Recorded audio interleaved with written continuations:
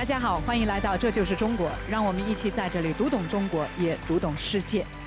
我们的节目当中啊，多次讨论过台湾问题，而在如今台独势力和域外干涉势力勾连更为严重的情况下，我们今天再一次的来关心台湾问题。演播室的嘉宾一位是复旦大学中国研究院的院长张维维教授，欢迎。好，我们今天呢还请到了上海社科院台湾研究中心主任盛九元，欢迎盛主任。好，我们把演讲的时间交给两位嘉宾，在演讲之后，我们开启现场讨论，有请。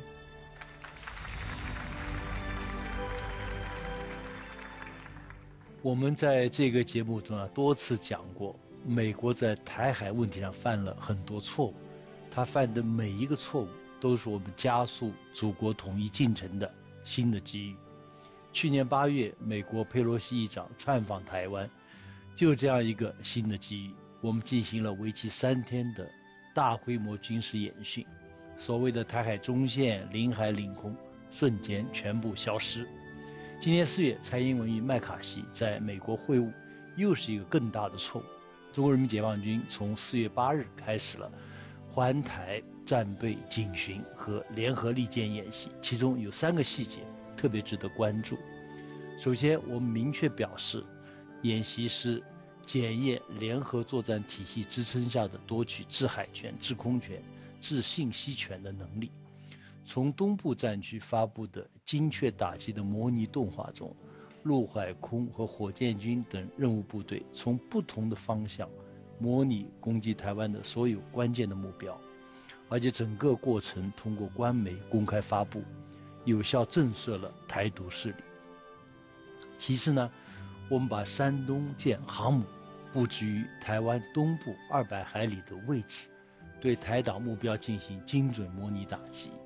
在台湾东部四百海里外待命的美国尼米兹航母，居然连与山东舰对峙的这种勇气都没有，就离开了。长期以来啊，台湾把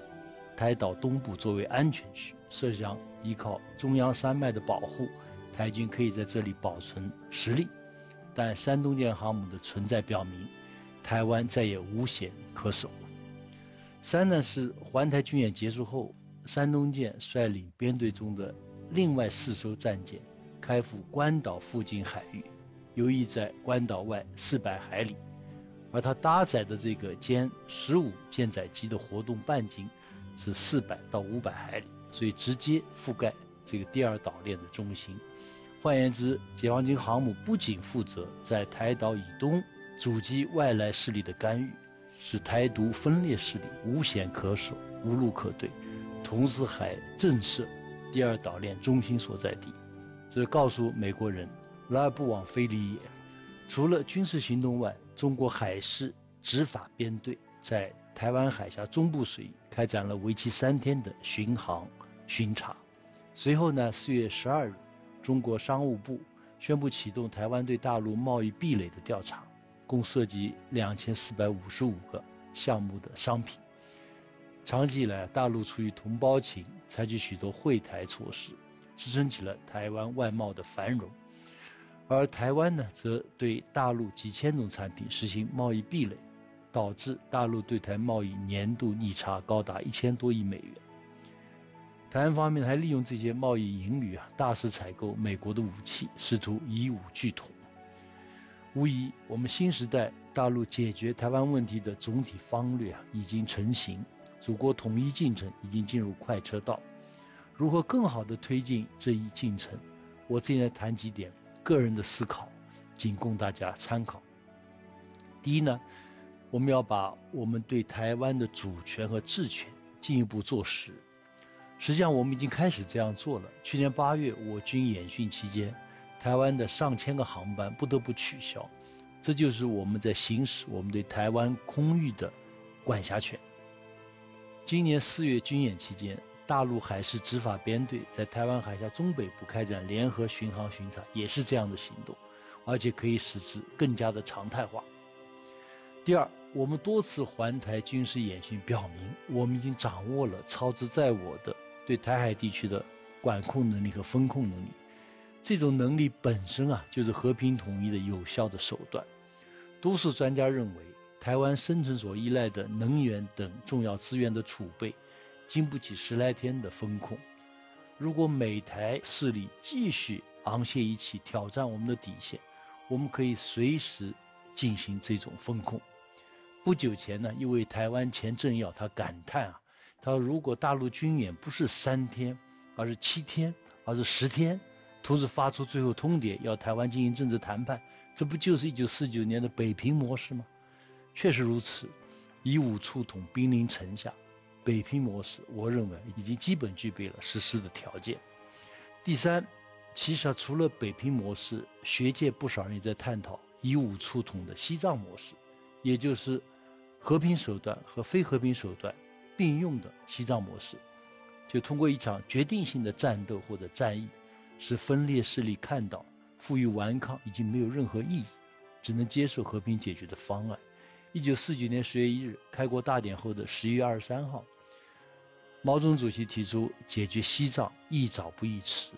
当时西藏当局期盼英国、美国、印度等能够协助西藏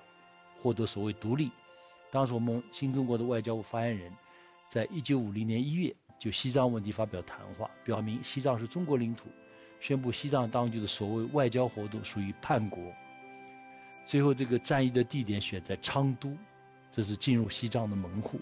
然后，一九五零年十月六日，昌都战役打响，一举消灭了藏军的主力。为西藏的和平解放铺平了道路。第四呢，我认为我们要以高度的制度自信和道路自信来统筹祖国统一的进程。不少人认为啊，我们军事上解决台湾问题不难，难在治理台湾，特别如何肃清台独势力和台独思想。其实啊，大陆和台湾实力的对比已经发生了翻天覆地的变化，背后是我们的制度优势。上世纪八十年代末。台湾经济规模大约是大陆的百分之四十五，但是所谓这个民主化的三十多年过去，台湾今天的经济规模只有大陆经济规模的百分之四左右。如果根据购买力评价的话，估计只有百分之二左右。我也认为台独的思想没有法理基础，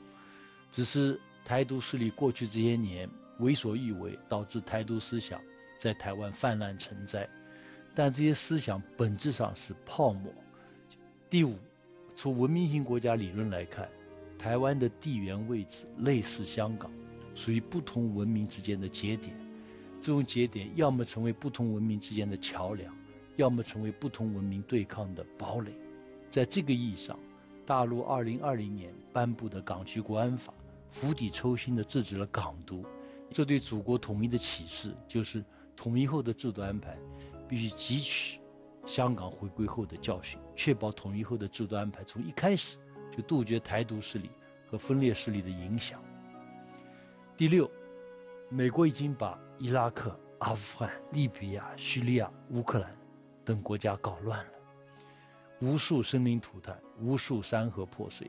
现在又准备以摧毁台湾的焦土政策来遏制中国大陆的崛起。我认为我们两岸人民要团结起来，制止这种局面的出现。坦率讲，就一个文明型国家才可能允许“一国两制”这种具有高度包容性的制度安排，一般的民族国家是无法这样做的。我希望台湾方面不管哪个政党执政，都尽早开始与大陆协商一种面向未来的、有利于国家统一的制度安排。如果台湾方面迟迟不接受“一国两制”的方案，我个人认为我们可以适时提出自己的与时俱进的统一方案。最后呢，这些年啊，台湾成了美国手中企图遏制中国崛起一张牌，但我们应该通过坚定有力的行动，使美国手中的这张所谓的牌变成美国手中的烫手山芋。也就是说，美台势力每进行一次挑衅，我们促进祖国统一的大业，就扎扎实的向前推进一步，乃至一大步，直至实现祖国的完全统一。